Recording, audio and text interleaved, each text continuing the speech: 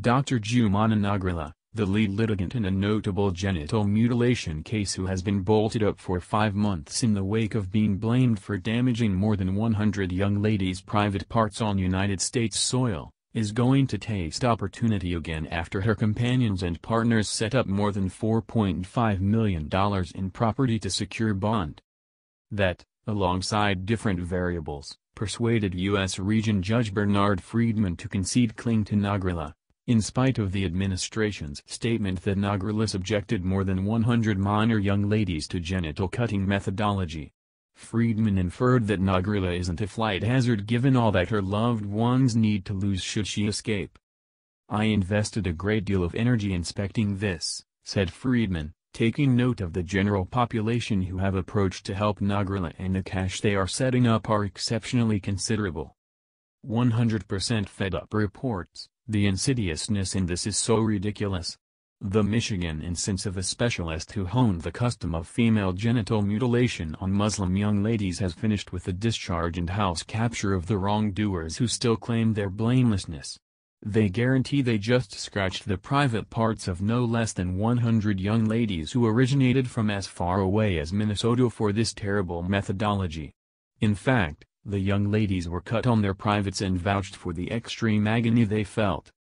Court reports said the Minnesota young ladies were advised they were going to Michigan for an uncommon young ladies trek, and their folks trained them not to talk about the system.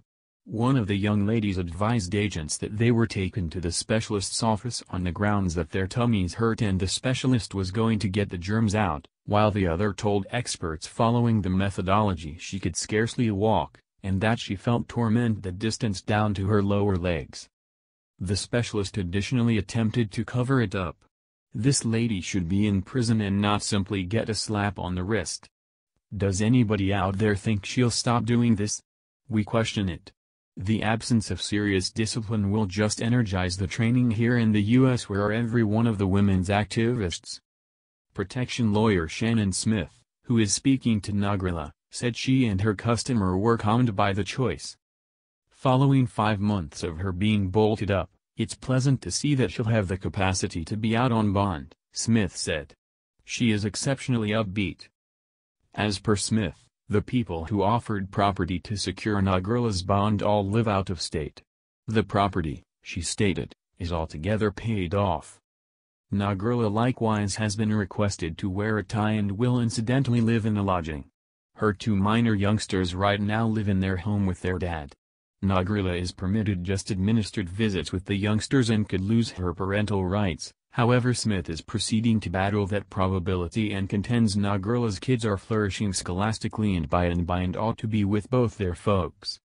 The arraignment contended against allowing bond to Nagarwala, saying she has the assets and thought process to escape, she lost her activity, could lose her parental rights and faces up to life in jail. Discharging her on security could likewise give her more opportunity to quiet observers for the situation, prosecutors have contended, guaranteeing Nagarwala has just advised individuals from her religious group to deny everything if examiners get some information about genital cutting strategies. A Virginia mom was in hot water a few months ago for recommending female genital mutilation to prevent hypersexuality.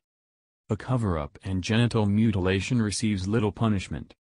In campaigning against Bond, Assistant U.S. lawyer Sarah Woodward contended today that Nagarwala is the person who coordinated a 12-year connivance that included conveying young ladies to a Livonia facility for genital cutting systems. Additionally, she focused on, Nagarwala was the person who employed the instrument to cut a few young ladies and afterward endeavored to cover it up. No harm? The Guard has asserted that the legislature is exaggerating its case and that Nagarwala and her co-litigants were taking part in a religious system that included no damage. The case includes eight respondents, including two specialists, a doctor's significant other and four moms, who are blamed for taking an interest in different degrees of subjecting young ladies to genital cutting as a major aspect of a religious practice inside their Indian Muslim faction.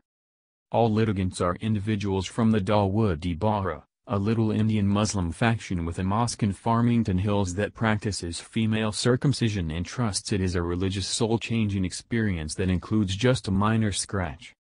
The lead respondent is Nagarwala, a now terminated crisis room doctor at Henry Ford, who is accused of playing out the strategy on six young ladies at a Livonia facility.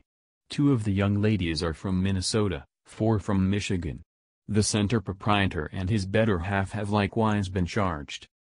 Dr. Fakhruddin Attar, 53, of Farmington Hills, is blamed for giving Nagarwala a chance to utilize his center to perform genital cutting systems on minor young ladies, and his significant other, Farida Attar, 50, is blamed for holding the young ladies' hands amid the technique to shield them from squirming and to quiet them. Four moms additionally have been charged for the situation, blamed for putting their girls in Hertz route by giving Nagarwala a chance to cut their private parts as a major aspect of a religious method. Prosecutors have contended that the government genital mutilation law is clear, it denies intentionally circumcising, excising or infibulating the entire or any piece of the labia majora or labia minora or clitoris of whatever other individual who has not achieved the age of 18 years. Agonizing. Dash what happened to do no harm? As indicated by court archives, in interviews with experts, the two Minnesota casualties portrayed the genital cutting techniques as agonizing. One young lady said that she got a shot, shouted, and could scarcely stroll after the technique, and that she felt torment that distanced down to her lower leg. The other said she was laid on a looking-at table with her knees close to her chest and legs spread separated, that she was squeezed in the genital range, that it hurted a ton and that there was agony and consuming. The two young ladies were disclosed to keep the methodology a mystery, court records appear. One said the specialist made her, companion, cry. Particularly heinous, specialists have contended, is that this strategy was completed by a specialist who guaranteed to do no damage. She realized this was illicit however did it at any rate, Woodward has said of Nagarwala, worrying, as a restorative specialist, she knows that female genital mutilation has no therapeutic reason.